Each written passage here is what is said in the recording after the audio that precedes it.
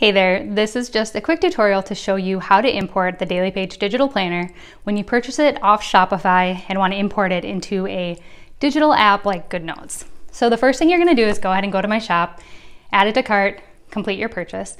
As soon as your purchase is finished, you're going to go ahead and go to your inbox. And right away, you'll have two emails. The first one is going to be your purchase confirmation, and then the second one will be your download files. Go ahead and open the one for the downloads and you'll see a link in there to the download page. As soon as the download page opens, you can go ahead and hit the download now folder. And down at the bottom of your screen, you should then get a little pop-up where you again have to hit download. Now it'll begin downloading the file. It goes pretty quick because it's a compressed file, which I will explain in a minute. Next, down here at the bottom, you're gonna see blue text that says open in and you'll go ahead and click on Open In, and you'll select Save to Files. This is gonna now ask you where you wanna save it, and you're gonna go ahead and choose on my iPad and hit Save. It has now downloaded a compressed file onto your iPad, so the next step is to locate it and uncompress it. So to do that, you need to open up your File Explorer it's an app that looks like this, has a blue file folder on it, so it might be really accessible on your home screen or down here in the menu tray. If you don't see it anywhere, an easy way to find it is to put your finger towards the top of the screen, swipe down, and then in this search bar, you're just gonna type in files and it'll find the app for you.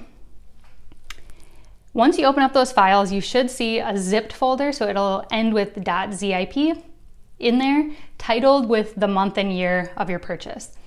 So go ahead and long click on that and select uncompress. You'll then see it uncompress it so it now has this blue file folder, which means that all of the files within that folder are now accessible and ready to use. So go ahead and click on it to open up that folder.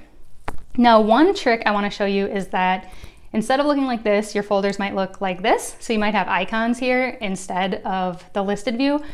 I switch it to list view so that I can see the full file names, which is helpful for this step of the process. So when you make the purchase, you're actually gonna get four different planners and all you have to do is determine which one you wanna use and import that one file. So you don't need to import all four of these. You'll see that you get two that are for all of 2022, either with Monday or Sunday start calendars, and then you'll get an option that'll be from 12 months out from your date of purchase. So because it's October 2021, these files go from October 2021 to September of 2022.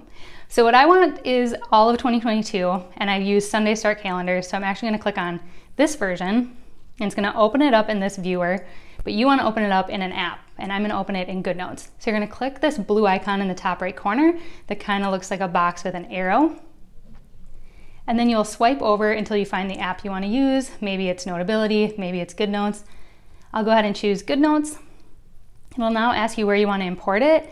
You want to make sure it says import as new document. If not, you need to go and change the location because otherwise it'll tack this file onto whatever file you have open. So go ahead and import as new document. And this might take a little while, um, depending on your internet connection. It's just importing the file into the app for you. And as soon as that's done, it'll open up for you.